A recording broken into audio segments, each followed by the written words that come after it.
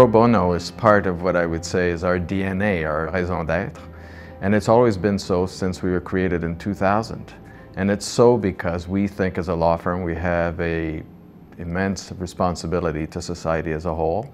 It's a great thing for training younger lawyers, but what's also unique here, I think, is that it's not just a way to delegate work to younger people. The reason it's part of our culture is that senior people in the firm, too, take pro bono extremely seriously. And as a result, it's one of the defining features of Borden Ladner Gervais. The range of support we provide on a pro bono basis is really equal to the range of services we offer any paying clients. There's nothing in principle that we couldn't provide on a pro bono basis. So whether or not they're court appearances, uh, assisting clients before administrative tribunals or government agencies, or providing assistance in writing legal opinions, that's all available across the range of expertise we have, whether it be in construction law, charity law, administrative law, constitutional law, etc., etc. So really our firm, as long as the project is something that uh, we think is deserving, uh, if we have the expertise, we can provide it on a pro bono basis.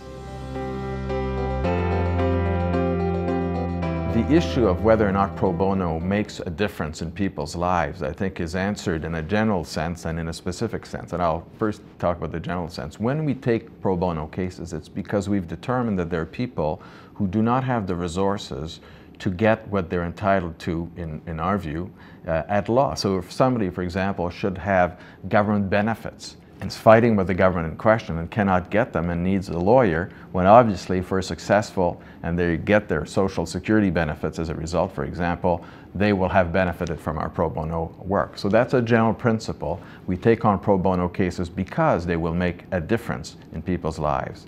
And in a more concrete example, perhaps dramatic, we were involved in a case involving a man who had been wrongfully convicted uh, in the 1960s. He'd been sentenced to 15 years. He did five or six years in jail and then spent the rest of his life, literally, fighting to have the governments recognize that he had been wrongfully convicted and seeking damages.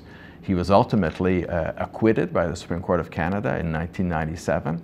And in the last couple of years, we won a judgment, or settled the case actually, after a trial with the government of Quebec for a multi-million dollar award. What this man wanted was vindication more than money.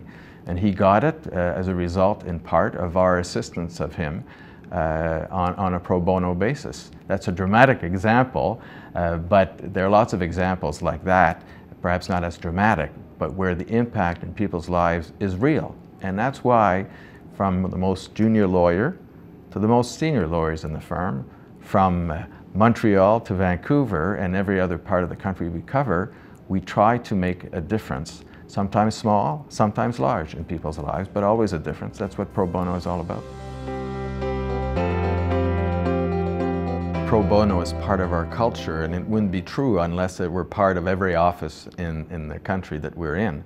So every office has a pro bono committee that uh, gets uh, applications and so every committee then sifts through the applications and decides whether or not they're worthy. And so every office therefore has an opportunity to participate and does participate in the pro bono program. The range of services we offer on a pro bono basis and the fact that we offer it across every office in this country is simply a testimony to how important we think pro bono is at BLG.